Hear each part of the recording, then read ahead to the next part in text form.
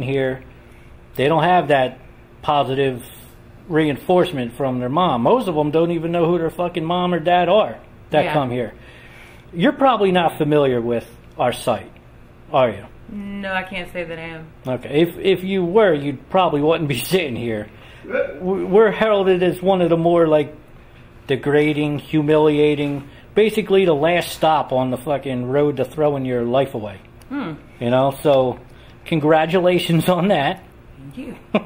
um, but having your daughter sit there and being called names like bitch, whore, slut, I mean, is that something you approve of, or do you wish maybe she chose a different style of porn?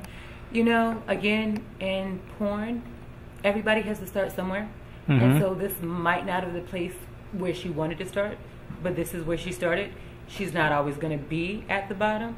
There's always the chance for improvement and moving up in it. So again, in any profession, you have to start at the bottom to work your way up to the top. You got to make your bones. There you go. I'm I'm actually a little upset your mom's calling us the bottom now.